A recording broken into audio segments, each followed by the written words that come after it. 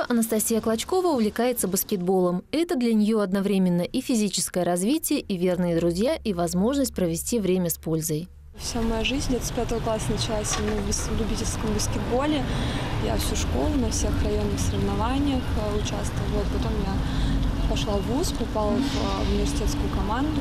Вот, э, стала помогать районной команде «Боковидная» на протоколах, на их соревнованиях. Окончив университет, девушка пришла работать во дворец спорта «Видное» секретарем, а потом, попав в молодежный совет, и в нем заняла соответствующую должность.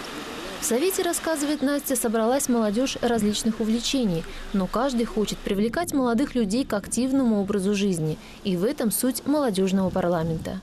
Я думаю, связать людей разных э, именно увлечений, именно молодежь разных возрастов, от, э, например, школьников до уже более старших и семейных, чтобы люди передавали какие-то свои знания, то, что они уже увидели, более младшим, младше подтягивали еще младше, и тогда это будет действовать, это будет работать.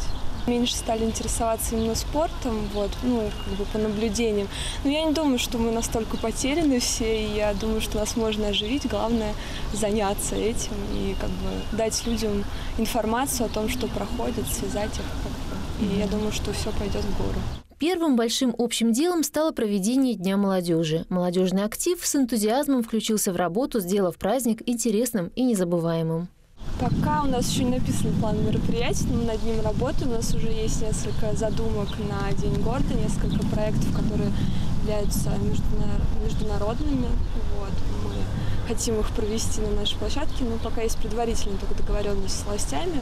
В сотрудничестве с местной властью, считает Анастасия, молодежный совет сможет добиться многого и реализовать свои большие и малые планы. Татьяна Брылова, Алексей Иванов, Анастасия Нурхонова, Видное ТВ.